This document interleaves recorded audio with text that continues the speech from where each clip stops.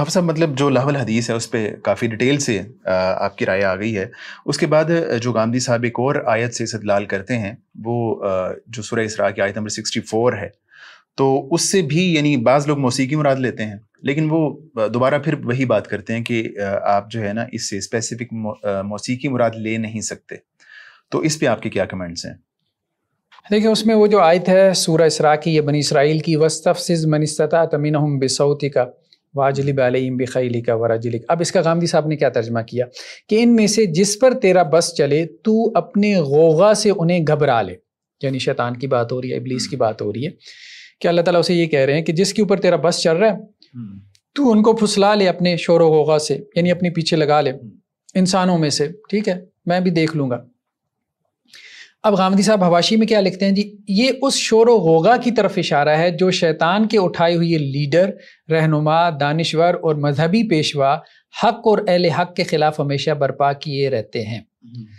हर ज़माने में हक और अहल हक रहे हैं। तो अब कुछ लोग जो है वो शैतान के उठाई हुई लीडर होते हैं रहनुमा होते हैं दानश्वर होते हैं मजहबी पेशवा होते हैं जो शोर गोगा पैदा कर देते हैं तो उसको उनकी आवाज़ कहा गया।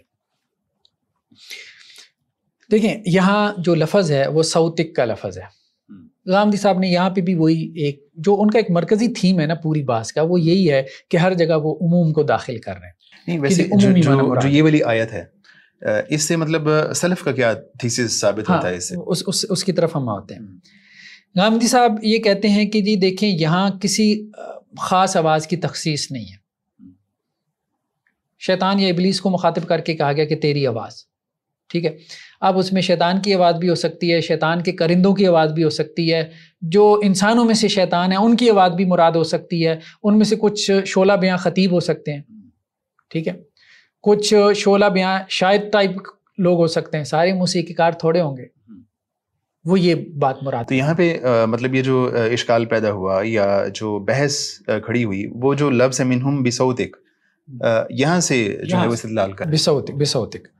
वो कहते हैं जी जमाशरी ने ये कहा कि यहाँ मुराद शैतान का गोगा है यानी शैतान का जो है वो शोर गोगा है ठीक है जमाशरी ने ये की इन्होंने भी कहा कि जी शैतान से मुराद ये है कि जो शैतान के पैरोकार लीडर्स हैं वो जो डुगडगी बजाते हैं और आवाम को अपने पीछे लगा लेते हैं वो मजहबी लीडर भी होते हैं पॉलिटिकल लीडर्स भी होते हैं ये बेसिकली उनकी आवाज़ की बात हो रही है जो अल्लाह और उसके रसूल की आवाज़ के मुकाबले में होती है। और वो लोगों को अल्लाह और उसके रसूल की तरफ़ जाने के बजाय अपने पीछे लगा लेते हैं जैसे वहाँ पे मुशरकिन मक्का थे।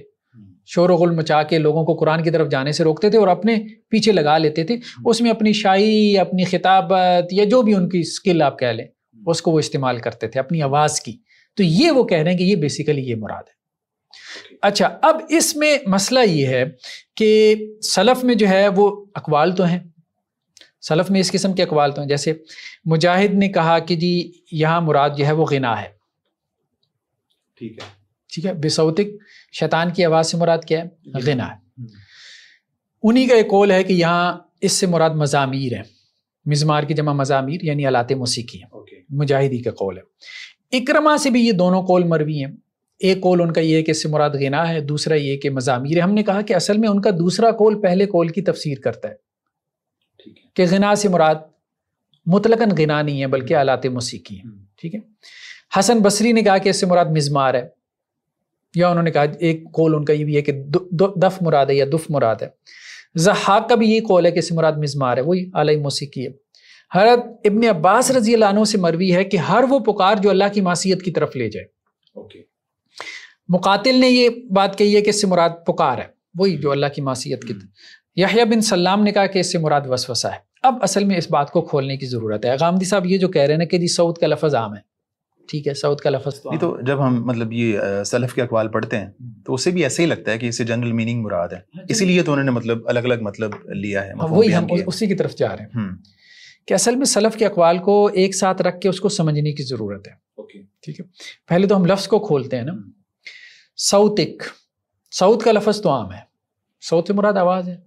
आवाज़। शायरी की भी हो सकती है हम्म। खिताबत की भी हो सकती है मौसीकी की भी हो सकती है यहाँ तक तो बात ठीक है। ठीक है। लेकिन ये आवाज़ क्या इंसानी आवाज़ है? अल्लाह ताला किसको खिताब कर रहे हैं? इबलीस को शैतान को। हाँ। खिताब तो उसको है। वस्तफ से मनिस्ता मिन हम ठीक है? मतलब मुखातब वो है ना मनिस्तता था वो जमीर हाजिर है। हम्म। मनिस्तता तमीन बिसौतिक। हाँ। वहाँ भी काफ जमीर खिताब की है। हाँ। ठीक है? तो मुखातब जो है वो तो आपका एक ही है। हाँ, इबलीस है। हम्म। अब एक एतबार से आवाज़ मुतन है। मुखातब के एतबार से। ठीक है। ठीक है? हाँ। आवाज़ होने के एतबार से वो जर्नल है। लेकिन जिसकी आवाज़ है उसके एतबार से वो मुतन है। तो माने में वही बात जो पहली जो आयत में हमने की थी कि ना माना जो है वो हर एतबार से उमूमी है ना माना हर एतबार से ख़ास है। जैसे कहते हैं कि इसमें मिन वज उमूम है और मिन वज इसमें खसूस है। हम्म। तो ये बेसिकली वो वाली सूरत बन रही है कि सऊद के अतबार से उमूम है लेकिन जिसकी आवाज़ है उसके अतबार से तो शैतानी आवाज़। मुझे बताएँ शैतानी आवाज़ शायरी की सूरत में हो? शैतानी आवाज़ बाजी की सूरत में हो?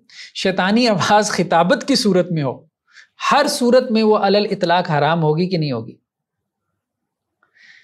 शैतान की आवाज़ हम्म। जब हम उसको कह रहे हैं शैतान हम्म। तो वो शैतान शायरी में जो है वो खिताब कर रहा है हम्म। शैतान नसर में खिताब कर रहा है शैतान मौसीकी में से जो है वो आवाज़ निकाल रहा है आलय मौसीकी में से तो हर एतबार से उसकी सौत में आप उमूम भी पैदा कर लें लेकिन काफ ज़मीर खिताब की कह रही है कि ये बेसिकली इस चीज़ को सामने रखो कि इबलीसी आवाज़ है ये तो यहाँ तक तो जो गांधी साहब का नैरेटिव है वो साबित नहीं होता नहीं वो असल में ये बात कह रहे हैं कि ये बिल्कुल आम है। हम्म। इसमें हर किस्म की शायरी और खिताबत शामिल है। हम कह रहे हैं कि नहीं हर किस्म की शायरी और खिताबत इसमें शामिल नहीं है। इसमें शैतानी शायरी और शा, शैतानी जो है वो खिताबत की बात हो रही है। तो वो भी वो भी ये बात कहते हैं। अगर वो ये कह दें तो हमारा मकसद हल हो जाए हमारा उनका इख्तलाफ ही ख़त्म हो गया। फिर तो ये आयत मुतन हो गई ना। फिर तो आयत मुतन हो गई फिर इस्तेमाल की बात कहाँ पर रह गई? वो इस तरह के वो कहते हैं कि जो शायरी अल इतलाक हराम थोड़ी है वो जो शैतानी शायरी होगी बुरी शायरी होगी जो फहश होगी उसका हम हराम तो कहेंगे। तो आयत का मिसदाक ही शैतानी शायरी है ठीक है?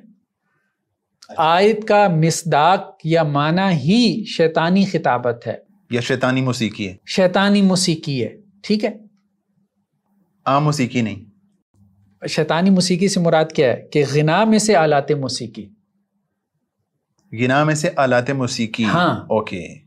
गना में से आलात मौसीकी। सलफ बार बार क्या करते हैं? गना की तखसीस करते हैं आलात मौसीकी के साथ। जिस तरह वो खिताबत में से जो है वो शैतानी खिताबत निकाल लेते हैं ठीक है? तो इसी तरह गना में से जब आप आलात मौसीकी निकाल रहे हैं तो उसकी तखसीस हो गई ना। तो ये इसकी हरमत मुराद है। तो यही तो हम बात कर रहे हैं। देखें ना जैसे सलफ क्या कह रहे हैं कि इससे मुराद जो है शैतान का वसवसा है याहिया बिन सलाम ने कहा। यानी शैतान तुम्हें वसवसा डाले तुम्हारे तुम्हारे जो है वो दिल में फूंक मारे। हम्म। ठीक है शैतान जो है वो आलय मौसीकी में कोई आवाज़ पैदा करके तुम्हें अपने पीछे लगा ले वसवसा डाल के लगा ले फूंके मार के लगा ले ठीक है? तुम्हारे जेन के अंदर कोई सोच पैदा करके लगा ले तो हर सूरत में क्या होगा? तुम्हारे लिए हराम है उसके पीछे चलना उस आवाज़ के पीछे चलना किसकी? शैतान की आवाज़ के पीछे। तो सलफ जब कह रहे हैं कि इससे मुराद गना है और गना में से भी वो तखसीस कर दी उन्होंने। अलात मौसीकी। यानी वो जो है उसको गिना पे जनरल नहीं रखते गिना उसको स्पेसिफाई कर देते हैं। मिसमार से मिसमार से अलात मौसीकी से। अलात मौसीकी से। ये मुराद है। तो अब गामदी साहब ने असल में एक बात और पैदा कर दी। उन्होंने कहा जी देखें ये जो शैतान की जंग है क्या सिर्फ़ मौसीकी से लड़ी जाती है? शैतान तो अपनी जंग जो है वो खिताबत से भी, शायरी से भी लड़ता है। ठीक है, जो शैतानी क़वतें ताकतें बात तो ठीक है, शायरी और ख़िताबत भी जो है वो दीन से हटाने के लिए इस्तेमाल होती है। ठीक है बड़े बड़े ख़तीब बात जो है वो लोगों को अल्लाह के दीन से हटा देते हैं, गुमराह कर देते हैं, चूँकि वो ख़ुद मजहबी पेशवा भी जो है वो बाज़ गुमराह हो सकते हैं, इसमें कोई ऐसी बात नहीं लेकिन मसला ये है कि हम ये बात कह रहे हैं कि शैतान की आवाज़ मौसीकी की सूरत में हो या ख़िताबत की सूरत में हो या शायरी की सूरत किसी भी सूरत में हो तो उसको कहा गया सौतिक तेरी आवाज़ तो वो शैतानी आवाज़ है। तो हर हाल में उसकी जो पैरवी है वो ममनू है हरमत के दर्जे में दाखिल तो जो सलफ़ ने मुख्तलिफ़ अकवाल बयान किए हैं और उनको फिर जो है हम एक दूसरे के साथ किस तरह जोड़ेंगे? हम वो वो यही कह रहे हैं ना वो शैतान की जो आवाज़ है उसकी सूरतें मुतन कर रहे हैं। कभी वो वसवसे की सूरत में है ये शैतान शैतान मतलब आपके दिल के अंदर अपनी आवाज़ पैदा कर रहा है। यानी ज़रूरी नहीं कि आपके कानों में कोई आवाज़ आएगी शैतान की। ओके ठीक है? वो आपको वसवसा डाल रहा है ये भी शैतानी आवाज़ है। ठीक है।